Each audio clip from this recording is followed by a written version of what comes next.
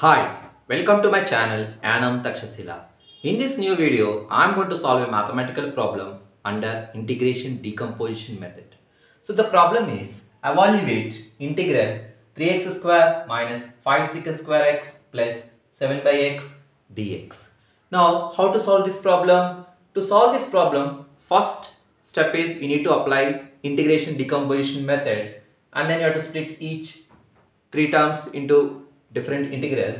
And then you have to use the formulas of first one is integral x power n dx is x power n plus 1 by n plus 1 and then second formula you need to use is integral secant square x dx is tan x. And third formula is integral 1 by x dx is log x. So we'll get the final solution. So before solving this problem we'll write the formulas first.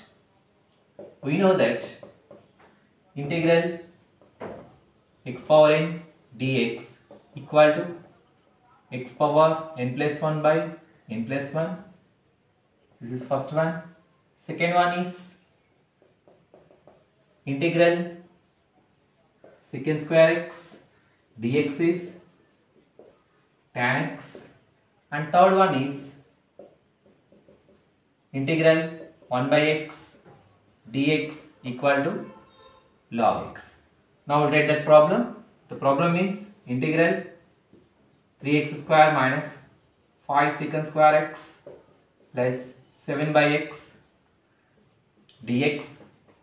So as I told you before, first you need to apply integration decomposition method. So we'll write split this three terms into three integrals. So you can write this as 3 into integral x square dx minus now 5 is a constant. The second term you can write take out of this integral on integral secant square x dx. So next symbol is plus. And in this 7 by x 7 is a constant. So you can take out of this integral.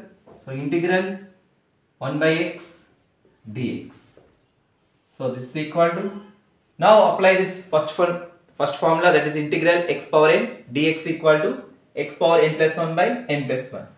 So here n value is 2 apply here so 2 plus 1 by 2 plus 1 that means we will get 3 into x cube by 3 minus 5 into now integral secant square x dx.